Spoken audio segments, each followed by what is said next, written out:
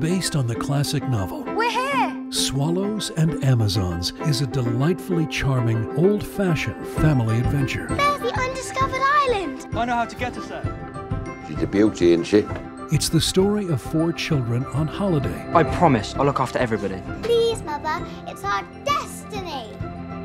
All right then. who sail on their own to a nearby small island. All aboard!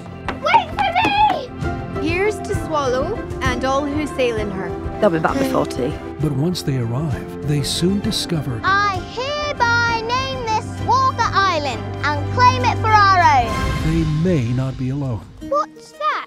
A houseboat. What starts off as purely make believe The Amazons? Give us back our island. How frightened of you? turns out to be very real. This is our chance. Follow him. Who knows what's going on in that boat? Something fishy. Where are you going? Hello?